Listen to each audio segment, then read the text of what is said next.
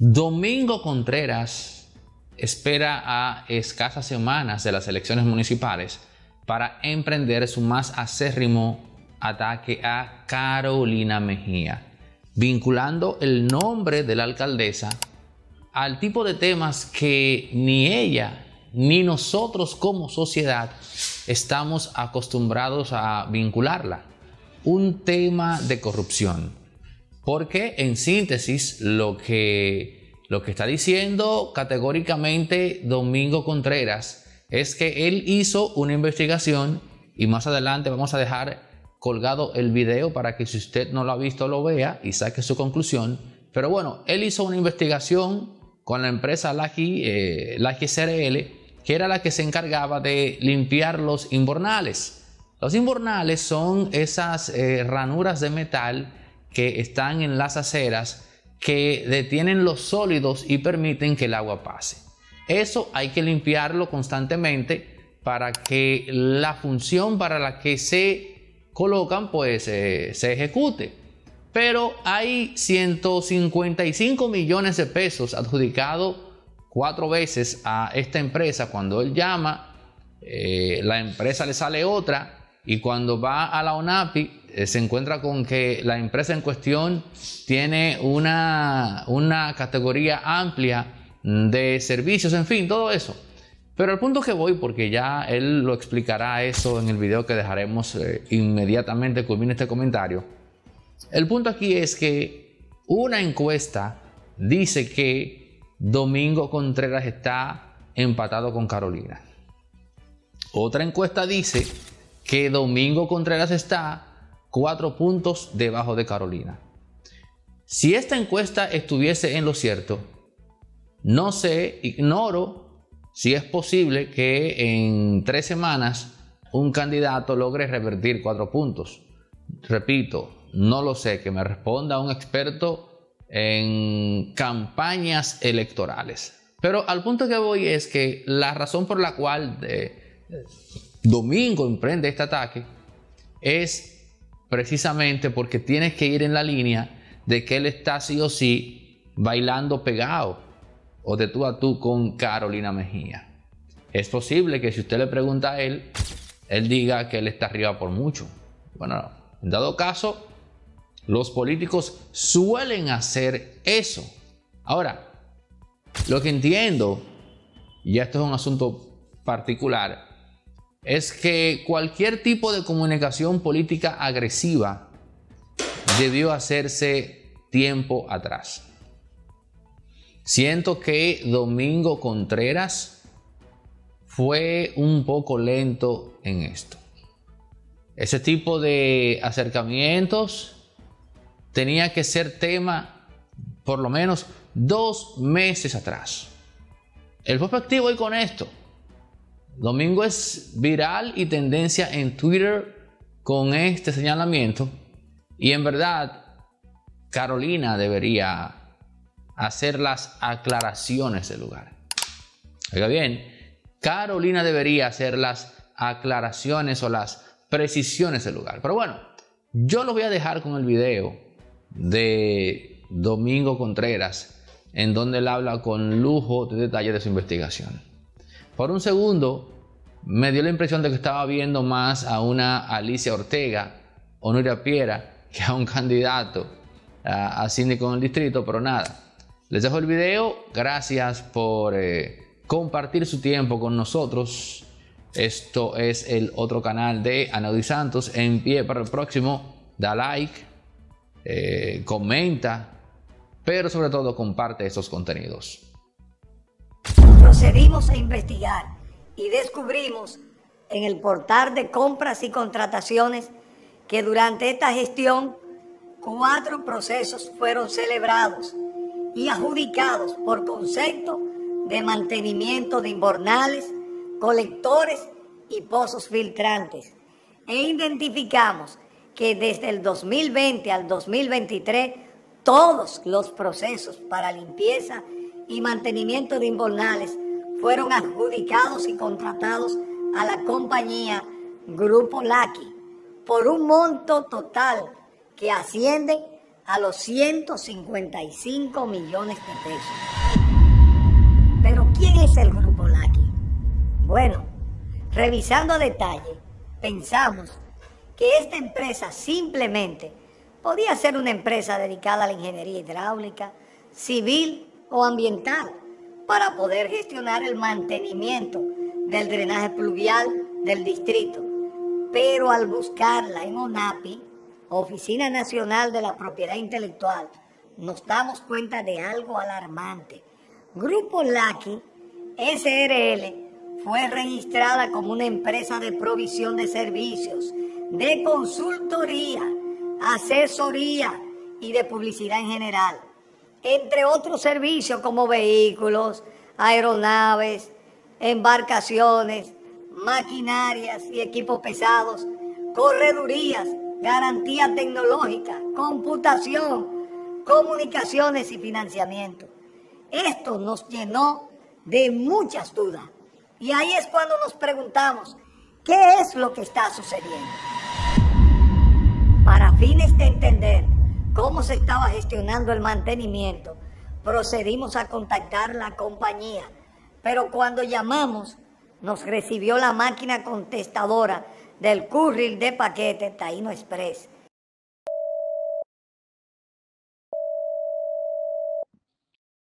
Gracias por llamar a Taino Express. Lo cual nos alarmó y ante tantas dudas decidimos aproximarnos a las oficinas que figuran tanto públicamente como en el contrato para darnos cuenta que las instalaciones eran las de Taino Express, sin identificación ni operación visible presente del grupo Laki. Al enterarnos de que el número publicado no nos llevaba al grupo Laki y que las instalaciones no presentaban operación alguna para una empresa de mantenimiento de inbornales, surgió la pregunta de si realmente esta empresa tenía capacidad de ejecutar los mantenimientos apropiadamente. Revisando la información disponible, nos dimos cuenta que a la compañía se le contrataron 4.080 servicios de limpieza de inbornales, colectores y pozos filtrantes en toda la capital al año, lo que no se corresponde con la auditoría social de la limpieza de los inbornales en los sectores de la capital, en el que los afectados señalan que el ayuntamiento lleva tres y cuatro años sin limpiarlos. Entonces, le pregunto a la alcaldía, ¿dónde está el sistema de supervisión para garantizar que estos camiones den el servicio de limpieza y mantenimiento de inbornales contratados? ¿Dónde están las actas que demuestran que en los últimos años se han hecho la cantidad de intervención en el territorio que dicha compañía está obligada a realizar? ¿Qué auditoría externa existe frente a la ejecución del contrato? Mi nombre es Ruby Morillo, eh, soy de aquí de La Vega y tengo 25 años. Yo soy estudiante de medicina. Yo llegué a la banca, fui a jugar unos números y a saludarla. Y ella me dijo que le jugara un agarra cuatro. O sea, me soñé algo con alguien, jugué la fecha de nacimiento y yo pues lo jugué, me saqué. Nada, yo no me lo creía cuando ella me dijo, me llamaron que se vendió el millón y fue mi banca que lo vendió. Ven a checar tu ticket porque fue la única que yo que lo vendió para mí. Nada, nos abrazamos y no me lo podía creer. Bueno, pues yo le solto a todo el mundo que juega porque ¿qué jugar? Eso fue, sí, eso fue un regalo de Reyes. Bueno, yo voy a usar mi premio para cosas de mi carrera, que bastante cara que es, y entre otras cosas. Yo me gané un millón gratis con Lotedón. de Lotedón.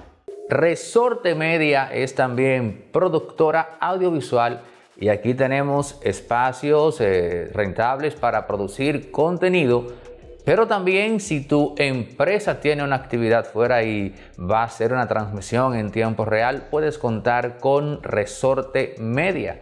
También si necesitas alquilar equipos para filmaciones de películas o eventos, tenemos grúas de 40, 20 pies. En fin, otra cosa, artista independiente que tiene que hacer un videoclip en calidad 8K 6K con imágenes de stock, bueno, pues lo podemos hacer acá en circuito cerrado con los presupuestos más competitivos. Pero si también requieres asesoría para la producción de contenidos en plataformas como YouTube, también puedes contar con nosotros. Resorte Media, todo lo que necesitas en todos los ámbitos cuando se trata de producción audiovisual. 829-741-361. Y otra exhortación muy importante que quiero hacerte, si tienes como meta de principio de año, pues montarte en tu primer carro o cambiar a hacer un switch, bueno, pues mira, te hablo de Centro Electronic RD, marca líder en República Dominicana en la importación de vehículos eléctricos, eh, ya sea a nivel individual o para empresas con eh, vehículos medios eh, hasta camiones y también el Avantier que es un auto eléctrico de bajo costo y muy bajo consumo y si vas referido por impolíticamente correcto pues tienes un descuento de mil dólares en la compra de cualquier vehículo. A nivel empresarial puedes aprovechar esta oferta porque puedes comprar varios vehículos y aprovechar ese descuento de mil dólares. En el 829-741-361 te damos todos los detalles y te ponemos en contacto con Centro Electronic RD acá en el país. Farmacia Medicar GBC está abierta de lunes a domingo, sigue en pie con su descuento de un 20% y también tiene su app que pueden descargar eh, los amantes de Android y la gente también de Apple. Farmacia Medicar GBC, la de nosotros los dominicanos. Witraton es una marca alemana de equipos de audio que llega al mercado local de la mano de Héctor Popa. Estamos hablando de lo mejor y la más alta fidelidad en equipo de audios para eventos multitudinarios, em, para salones de actos, para discotecas, en fin.